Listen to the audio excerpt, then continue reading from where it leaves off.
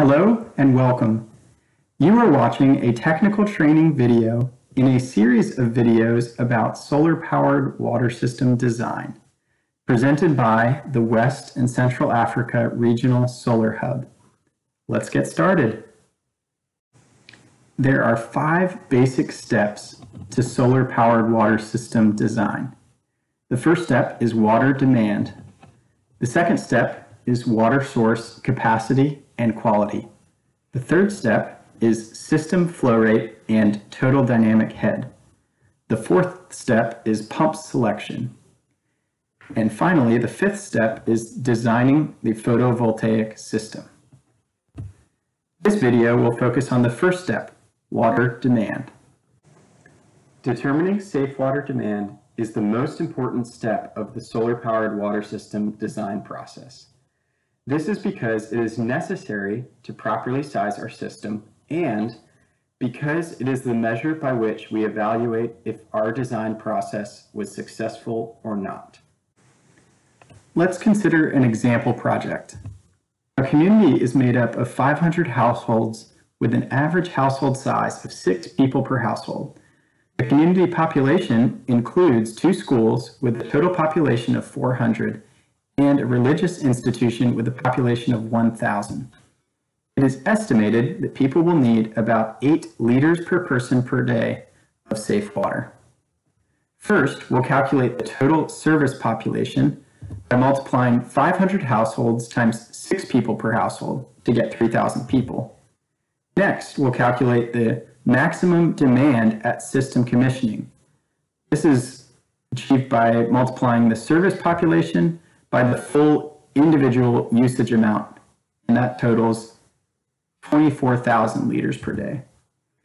We can also calculate the anticipated demand at system commissioning, considering a penetration rate, which is the percentage of people who will use the system. In this case, we'll assume 90% to get an anticipated demand of 21,600 liters per day. Lastly, we can also consider the future population. Considering a 3% growth rate over 20 years, we can estimate that there will be 5,418 people in 20 years, considering this exponential population growth function. And lastly, we can calculate the anticipated future demand, again, considering a 90% penetration rate, where 90% of the community will use the water. And for that, we get 39,012 liters per day. Next, let's look at how this information appears in the Solar Powered Water System Design tool.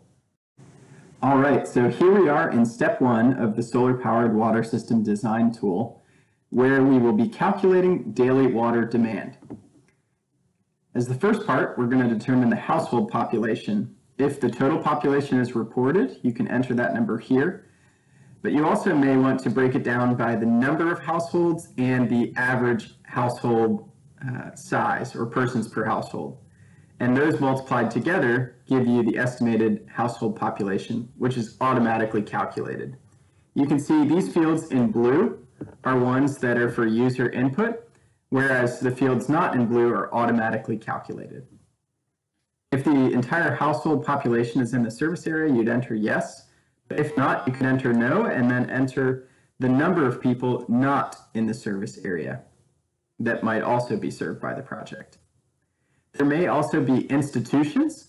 If there are institutions present, you can answer yes here and then list the different institutions and their population size. In this case, we have schools with a population of 400 and a religious institution with a population of 1,000. Then it asks the question, does the household population include these people? In this case, we answered yes, and so there's zero additional population to be served. But for example, if there was a clinic in which healthcare workers were coming to work from outside the community, or the people in the clinic themselves did not live in the community, you might answer no here and enter that population um, that would additionally be served by the project that don't live in the households of the community. So finally, we determine the population served. In this case, it's 3,000. Um, If these numbers were different for any reason, maybe if there were additional population from outside the community, then you might want to provide an explanation if the population to be served by the project is different than the sum of the household and additional populations. Now we'll proceed to step 1B below. This is where we'll look at individual water demand for the project. Uh, so we're estimating about 8 liters per person per day. So when we multiply 3,000 people by 8 liters per person per day, we get 24,000 liters per day. This is the maximum demand at system commissioning if everyone consumes 8 liters per day per person for the project. But we know that not everyone will always use the water. So we can uh, estimate the anticipated percent of the population to use the system. In this case, we enter 90%. And then we also know that we they might not use the full usage amount. But in this case, we'll assume 8 liters per person per day, but you could adjust that to be lower or uh, if needed. And then 3,000 times 90% times 8 gives us 21,600 liters per day, which is the anticipated demand at system commissioning. Next, we can also look at the future demand. Considering 20 years into the future at a 3% growth rate, the new future population is automatically calculated as 5,418.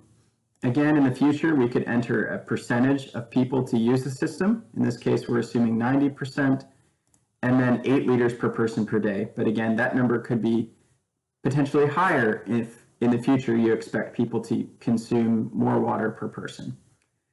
But then that new population in the future, 5,418 times 90% times 8, gives us a total anticipated future demand of 39,012 liters per day. Now we've calculated all three uh, different demands here, and it's up to you to decide which is the appropriate one to use as the water demand. In this case, we're going to choose our maximum demand at system commissioning, which was 24 meters cubed per day. So we enter that here, and then just give an explanation as to why you choose that water demand. Then if there are other water uses, such as for irrigation or livestock or other means, you could enter that here. And then we also might want to consider daily water losses and estimate a percentage that might be lost due to leakage or spillage or other causes. And then that 5% is what we assume. And then that 5% added to the 24 meters cubed per day gives us a design demand of 25 meters cubed per day. And that's the end of the first step of determining safe water demand.